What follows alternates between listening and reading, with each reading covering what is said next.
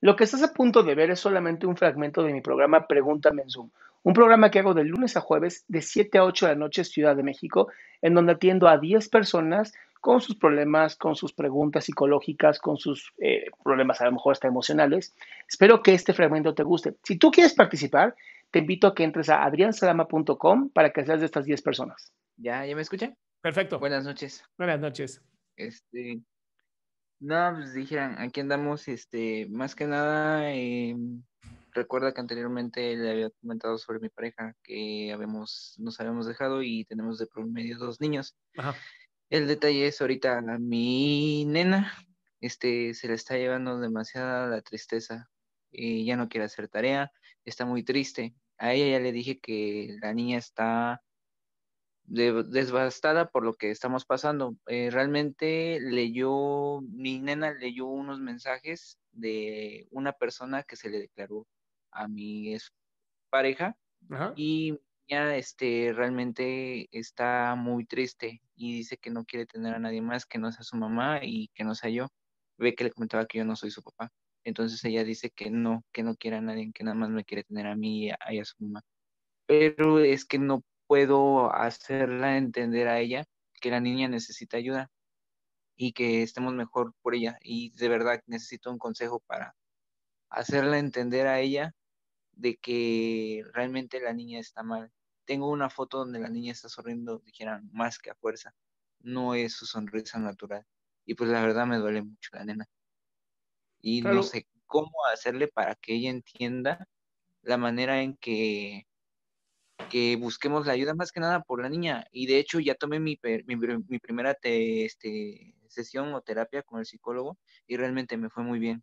Des, desahogué demasiadas cosas y dijeron, sentí que se me liberaron mis hombros. Y ahorita el detalle es con mi nena que sí es, está demasiado renuente a la situación que estamos pasando. Y pues ella leyó los mensajes de, de este señor o de este tipo y pues realmente le pegó mucho.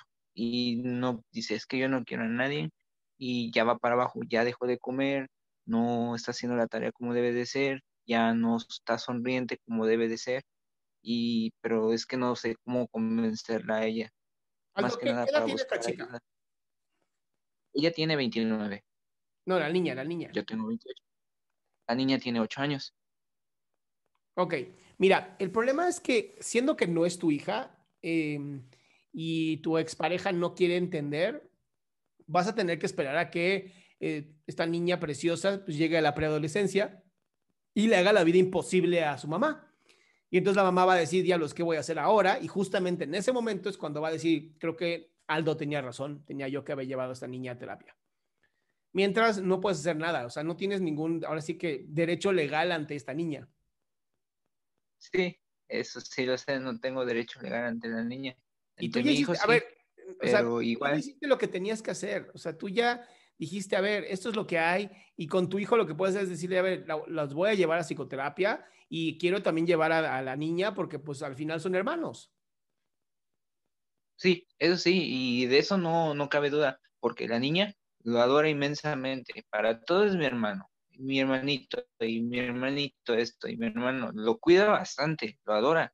De eso no tiene problema de que su hermano, pero este, realmente ahorita le digo, es esa la situación y pues con mi niño es diferente porque llego y como lo veo cada ocho días, llego y lo que hace es abrazarme, quiere que lo cargue y se recuesta sobre mi hombro y ahí lo tengo un buen rato recostado y no se me, ahora sí que no hace por levantarse, sino que como que me está abrazando son como unos 5 o 10 minutos que se queda así sobre de mi hombro, abrazándome.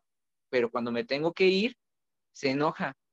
O sea, no me quiere ni hablar prácticamente, ni que decir que adiós. Es, es, un bebé que tiene apenas años, seis meses. Y pues realmente ni le digo, ya me voy, adiós. Y no, se pone su cara de enojado, de como de molesto, y no me habla. Ya hasta que le estoy, insiste, insiste, me dice que adiós. Y sí, es un niño muy inteligente, apenas tiene año seis meses, pero ya dijeran, está captando, como usted dice, son esponjitas que todo absorben. Sobre todo porque la parte emocional no se requiere como inteligencia para sentirlo, simplemente lo sienten y saben lo que están sintiendo y eso es lo que les duele.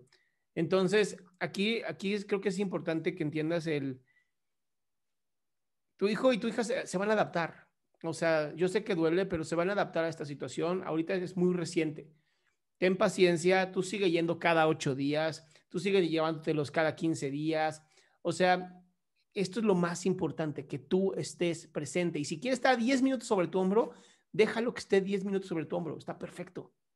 El chiste es que, no, no, que sepan que contigo hay algo seguro. Que cada ocho días llueve, truene, granice y tiemble, lo que sea, vas a estar ahí.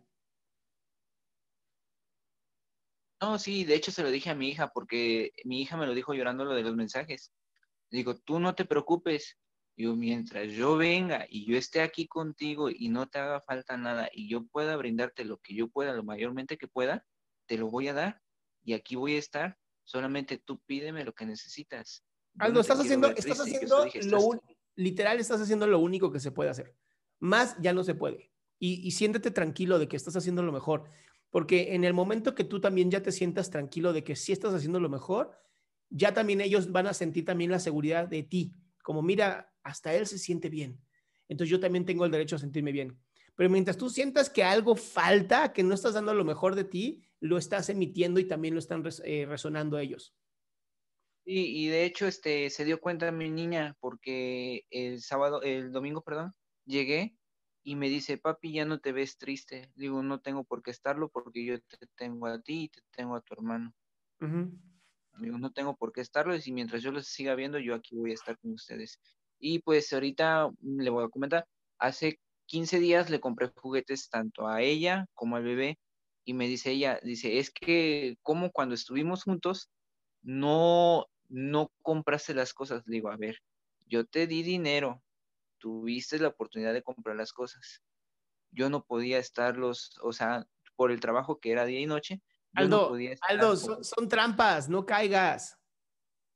No caigas, son trampas. Cuando saquen algún tipo de estos comentarios como sumamente tóxicos, la, respuesta es, pues sí, pero ahora ya se puede. Y ya. Es lo que le dije, le digo, ¿para pues qué te justificas? No dinero. Y digo, y ahorita sí lo tengo y le puedo comprar y ahí está. Dice, es que no te, justifiques. No, te justifiques.